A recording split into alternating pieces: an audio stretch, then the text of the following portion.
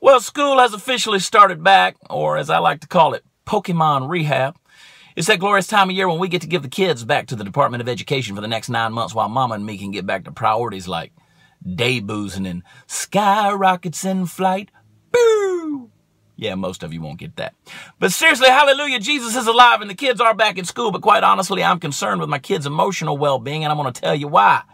Have you seen these teachers that are forced to stand in the drop off and pickup lanes? Don't let that sweet gal from Meet the Teacher Night fool you.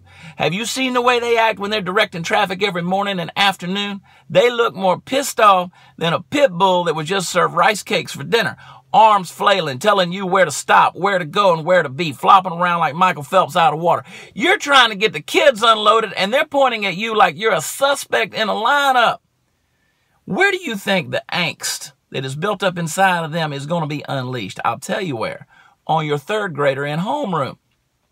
Look, Teach, I know you're pissed off because you've been enjoying Wine Wednesdays all summer long, and now you got to go back to using your fancy book learning and molding little minds and putting up with parents and administrators and everybody else. But ease up on the road rage. Look, I've already been driving a car for 20 years when you were in a sorority and majoring in undecided, so I got this. Parents, remember when you could just pull up to the curb, open the back door, and yell, Run, Forrest! Without the guilt, or make them walk that last mile and a half? directing me to a specific lane and telling me where to stop. I pull into my own driveway on two wheels. Listen, I've had these kids full time nonstop for the last three months. And you think I'm going to slow down to let them out?